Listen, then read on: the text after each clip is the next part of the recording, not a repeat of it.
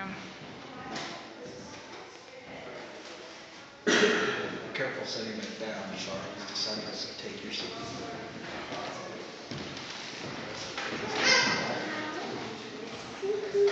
Well, Pleasant?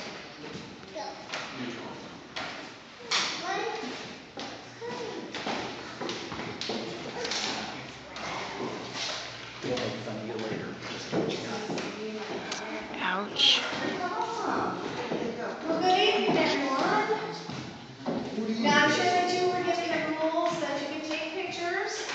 Maybe you want your cell phones on vibrate or off and no video. Okay, just making sure. Right, my name is Cynthia. I am your docent tonight and tour guide. I've worked in the house for a little over three years, so I'll be interjecting some of my own personal experiences as we go along. So how many of you this your very first time? A few of you. So